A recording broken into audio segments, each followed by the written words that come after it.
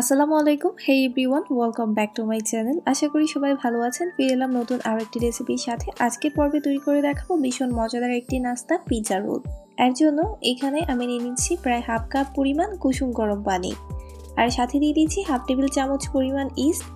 ইস্টটাকে ভালোভাবে মিশিয়ে নিব। তারপর একটি ঢাকনা দিয়ে ঢেকে দিব পাঁচ মিনিটের জন্য। পাঁচ মিনিটে ইস্টটা ফুলে অ্যাক্টিভ হয়ে যাবে। ফিরে পাঁচ মিনিট পর লক্ষ্য করুন ইস্টটা ফুলে গেছে। এ পর্যায়ে দিয়ে দিচ্ছি তিন টেবিল চামচ পরিমাণ চিনি। আর সাথে দিয়ে দিচ্ছি তিন টেবিল চামচ পরিমাণ সয়াবিন তেল। এখন সব কিছু একসাথে ভালোভাবে মিশিয়ে নিব। তারপর দিয়ে দিচ্ছি পরিমাণ মতো লবণ। আর দিয়ে দিচ্ছি প্রায় দুই কাপ পরিমাণ ময়দা। এখন সব কিছু একত্রে মিশিয়ে আমি একটা ডো তৈরি করে নিব। ডো তৈরি হয়ে গেছে। উপর থেকে তেল মাখিয়ে দিচ্ছি। তারপর ঢাকনা দিয়ে অপেক্ষা করব 30 মিনিট। ফিরে আসছি 30 মিনিট পর। ফিরে এলাম 30 মিনিট পর। 30 মিনিটে লক্ষ্য করুন ডোটা ফুলে দ্বিগুণ হয়ে গেছে। এখন এটাকে আমি চপিং বোর্ডের মধ্যে নিয়ে নেব। আবারও দুই তিন মিনিট ভালোভাবে ময়ান করে নেব। তারপর আমি সামান্য ময়দা এড করে এটাকে বেলে নিব। আর কতটুকু পাতলা করে বেলে নিব, আমি আপনাদের দেখিয়ে দিব। এই যে পুরোটোটা এরকম থাকবে। এখন দিয়ে দিচ্ছি দুই টেবিল চামচ পরিমাণ টমেটো ক্যাচাপ তারপর একটা চামচের সাহায্যে চারপাশে এইভাবে ছড়িয়ে দিব আর সাইড থেকে ফাঁকা রাখব।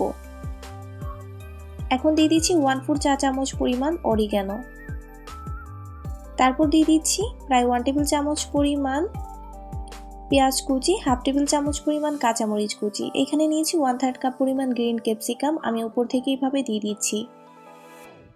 এখানে নিয়েছি red capsicum one third cup পরিমাণ। রেড ক্যাপসিকামটাও আমি উপর থেকে দিয়ে দিচ্ছি। এখানে নিয়েছি আমি হাফ কাপ পরিমাণ মজারেলা চিজ চিজটা উপর থেকে দিয়ে দিচ্ছি। তারপর উপর থেকে আবার আমি কিছু গ্রিন ক্যাপসিকাম আর রেড ক্যাপসিকাম দিয়ে দিলাম। সাইড থেকে পানি লাগিয়ে দিলাম। এখন এটাকে এভাবে ফোল্ড করে নিব। আর ফোল্ড করা হয়ে গেলে একটা ধারালো নাইফের সাহায্যে এটাকে আমি এইভাবে রোল করে কেটে নিব। এখন আমি যে ট্রের মধ্যে বেক করব সেখানে আমি তেল আর বেকিং পেপার লাগিয়ে নিয়েছি। এখন একটা একটা রোল খুবই সাবধানে দিয়ে দিচ্ছি আর অবশ্যই ফাঁকা জায়গা রাখতে হবে কারণ বেক করার পর এগুলো ফুলে যাবে।